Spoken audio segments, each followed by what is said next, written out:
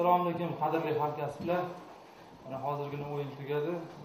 Bunyodkor e, adelaida jamoalar o'rtasidagi uchrashuvdan keyingi matbuot anjumani birinchi qismini e, mezbon jamoa bosh murabbiyi mirjalol qosimov bilan boshlaymiz. Marhamat savollardan oldin o'yinlar haqida fikrlaringizni eshitsak endi o'yinni guvohi o'zinglar bo'ldinglar e, kutilmaganda o'yinni boshida o'sha standart vaziyatdan o'tkazib yubordi. Undan keyin birinchi bo'limda yigitlar o'yinni tezroq gol urish uchun shoshilib qolindi. Shu orqali ko'p e, xatolarga duch keldi.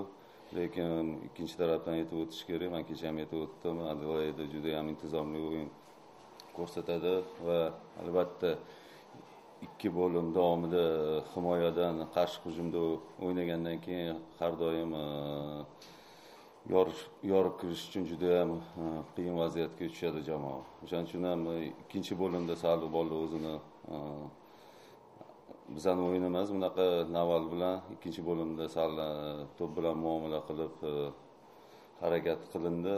Sal o'yinimiz o'xshadi lekin o'sha yana qarshi hujumda o'tkazib yuborgan golimiz bizga pan berib qoldi. Lekin temp bo'yicha o'yinni e, tempi bo'yicha man o'ylaymanki birinchi o'yin uchun yomon emas lekin e, ancha vaziyatlarda gol uradigan vaziyatlarimiz bo'ldi. Undan unumli foydalanolmadi va albatta omad bu o'yinda yuz o'girdi.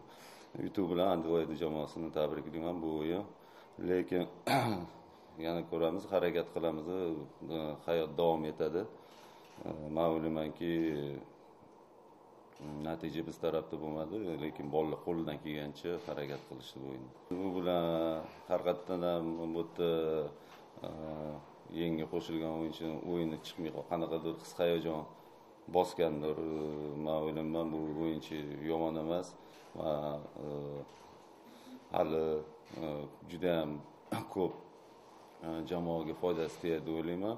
Bu bilan agarda ertaga nima bo'lishini bilganimizda bizni ko'rpacha yozib olardi. Endi aybsiz parvardigor. Bilmadim endi buni u kassetani ham boshqatdan ko'rib chiqqandan keyin anaqa qilamiz. Haqiqatdan ham birinchi bo'limda e, kenja sarayev o'yinni qovushmadi.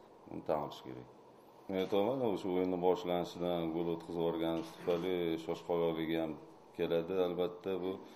E, lekin har bir jamoada yaxshi o'yinchi bo'lish bu Э, albatta jamoa uchun foydali. Lekin э, man o'ylaymanki lutfi to'rayev yomon o'yinchi emas. Э, endi o'yinda bo'ladigan xatolar. Aytyapman tez tez uchrab turadigan haqiqatdan ham bugun o'rtada ko'p xatoligi yo'l qo'ydi. Nima degan? Xayrli karimov yomon o'ynamadi masalan. Anvar soliyev e, harakat qildi. Albatta hozir futbol shunaqada e, qarshi ikki qo'ldan chiqadi. Agarda gol urilganda masalan hozir undan zo'ri bo'lmas edi masalan. U zo'r to'g'ri professional. Bu hayot. Endi anvar g'ofurov e, manimcha u ham yomon o'yin ko'rsatgan bilmadim bu qayerdan fikr agarda ozgina yoshi o'tib qolib uni pensiyaga chiqarib yuborsa u shundoq ham e, futbol e, vaqti masalan pensiyadan ham kamda oltmish yoshgacha bo'lmaydi shundoq ham qisqa karyera.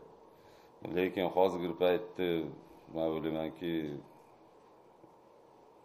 jamoada o'yin ko'rsatishi masalan yoki e, bu yugurishdanmi yoki qanaqadir siloviy barbalardan hech kimga yutqazadigan o'yinchilar emas masalan.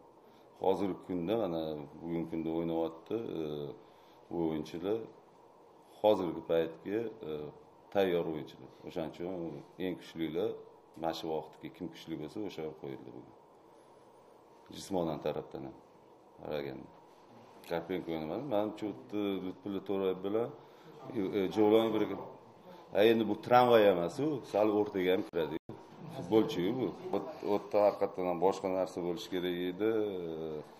Домашний заготовка deydigan o'sha narsani tushunmadimi nimadir anaqa qildi? Rozыгрышimiz bor edi o'sha rozыгрыш qilish kerak edi.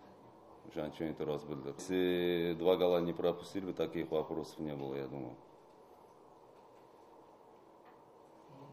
rahmat hammaga e'tiborlar uchun rahmat